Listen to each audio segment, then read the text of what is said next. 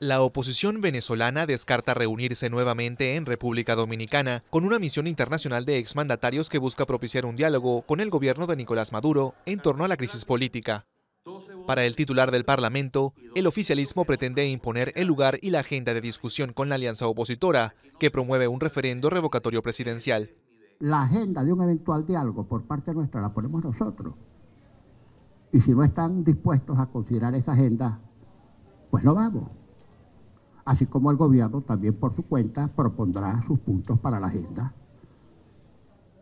Y el gobierno dirá, si nuestros puntos no se incluyen en la agenda, tampoco iremos. Pese a las dudas que le genera la neutralidad de la misión facilitadora, la oposición está dispuesta a reanudar los contactos siempre y cuando se realicen en Venezuela o en la sede de la OEA.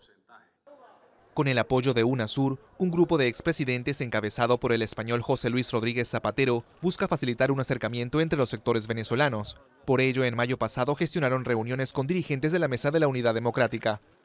El gobierno y sus adversarios están enfrascados desde hace siete meses en una lucha de poderes que, según la oposición, amenaza con desbordarse si el mandatario no da paso a una consulta sobre su continuidad en el poder.